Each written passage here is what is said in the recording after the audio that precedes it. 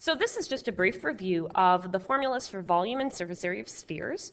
Um, so this one's 4 thirds pi r cubed. Um, a couple things you might want to do when you're putting it in your calculator. You could do 4 times pi times r cubed and then divide by 3. So that might make it easier for you in terms of the order of how you do things. It doesn't really matter. You can also punch in 4 thirds times pi times r cubed. And then surface area of a sphere is 4 pi r squared. So let's just look at a couple brief examples to refresh your memory on how to use those formulas. So volume and surface area of the following shape. So for volume, okay, again, remember, it's 4 times pi times r cubed divided by 3. And then we just basically substitute. We fill it in. The trickiest part, honestly, with spheres is just knowing how to use your calculator. So you just punch in 4 times pi times 4 cubed, get your answer. So you might want to hit equals and then divide by 3. Um, so just practice that. The answer is 268. We'll round to one decimal place 0.1. Don't forget volume is centimeters cubed. So just practice to make sure that you're punching it into your calculator correctly um, to get the correct answer. Surface area is just 4 times pi r squared. Again, you just substitute and then you just punch that into your calculator and you'll get your answer. And again, we'll round to one decimal place, so it's 201 0.1, and surface area, remember, is centimeters squared. Now this one I threw in just, um, you, you did these last year, but just as a little bit of a reminder. This shape is called a hemisphere. And there's two things you have to be careful of with a hemisphere.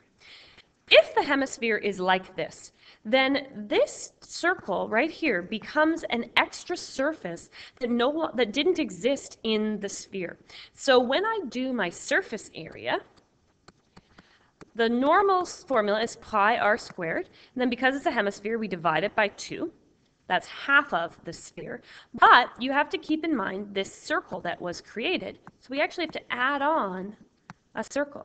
So really, if you figured out what that was, it actually becomes 3 pi r squared. So be really careful with hemispheres. Um, and then again, all you have to do is um, sub in so we can sub in 5, and then we punch it into our calculator. And we'll get 235, we'll round to one decimal place, 0.6 centimeters squared.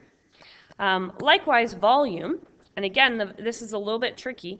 We're going to take our formula for volume, 4 pi r cubed divided by 3, and then we're actually going to divide that answer by 2 because we're looking at half of a sphere. And then we can just substitute in.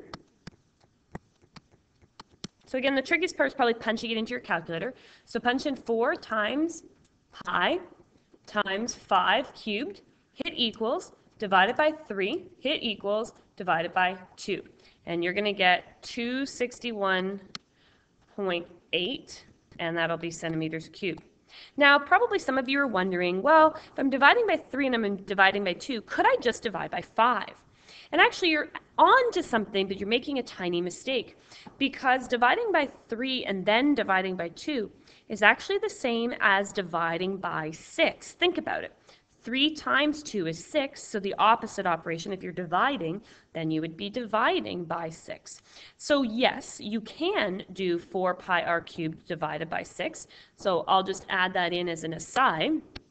If you want to do that, and then that actually simplifies to 2 over 3, or 2 times pi r cubed divided by 3. That is an option for you as well. Or you can just do 4 pi r cubed, divide by 3, and then divide by 2.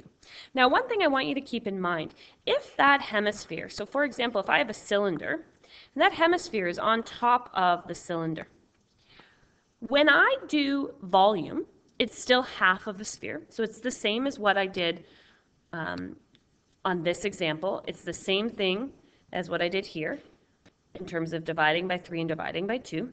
But if I have to find surface area of this shape, be careful because now that circle, so this thing that I'm coloring in red, is now actually covered by if you glued those pieces together.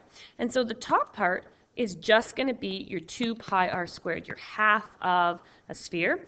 And in the cylinder, be careful because now there's only one extra pi r squared. Don't add two pi r squareds. So there's just a couple things to think about. Quick review of your um, surface area of spheres and volume of spheres.